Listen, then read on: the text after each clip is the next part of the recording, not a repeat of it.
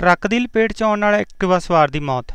ਜਲੰਧਰ ਦੇ ਲੰਮਾ ਪਿੰਡ ਜੰਡੂ ਸਿੰਘਾ ਰੋਡ ਤੇ ਹਰਦੀਪ ਨਗਰ ਵਿਖੇ ਟਰੱਕ ਦੀ ਲਪੇਟ ਵਿੱਚ ਆਉਣ ਨਾਲ ਐਕਟਿਵਾ ਚਾਲਕ ਦੀ ਮੌਤ ਹੋ ਗਈ, ਜਿਸ ਦੀ ਪਹਿਚਾਣ ਨੀਤੂ ਵਾਸੀ ਸੈਂਟਰਲ ਟਾਊਨ ਜਲੰਧਰ ਵਜੋਂ ਹੋਈ ਹੈ। ਹਾਦਸੇ ਤੋਂ ਬਾਅਦ ਟਰੱਕ ਚਾਲਕ ਮੌਕੇ ਤੋਂ ਫਰਾਰ ਹੋ ਗਿਆ।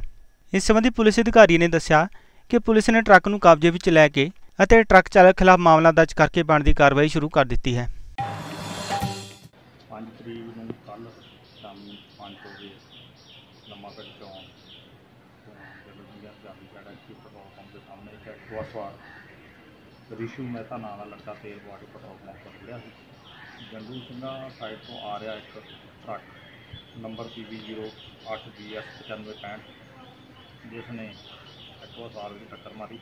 ਇਸ ਨਾਲ ਮੌਕੇ ਤੇ ਰਿਸ਼ੂ ਮਹਿਤਾ, ਪੁੱਤਰ ਰਜਨੀਸ਼ ਮਹਿਤਾ, ਅਹ ਵਾਸੀ ਸੈਂਟਰ ਟਾਊਨ ਦੇ ਅੰਦਰ ਕਾਫੀ ਗੰਭੀਰ ਜ਼ਖਮੀ ਹੋ ਗਿਆ ਸੀ।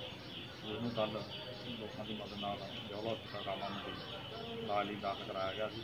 ਪਰ ਜਿਹੜਾ ਉਹਦੀ ਉੱਥੇ ਐਕਸੀਡੈਂਟ ਕਰਨ ਲੱਗੀਆਂ ਸੱਟਾਂ ਦੇ ਕਰਕੇ ਮੌਤ ਹੋ ਗਈ। ਤੇ ਡੈੱਡ ਬੋਡੀ ਨੂੰ ਕੱਲ੍ਹ ਹੀ ਇੱਥੇ ਸਿਵਲ ਹਸਪਤਾਲ ਜਾ ਜਿਹੜਾ ਹਸਪਤਾਲ ਕਰਾ ਦਿੱਤਾ ਗਿਆ ਸੀ।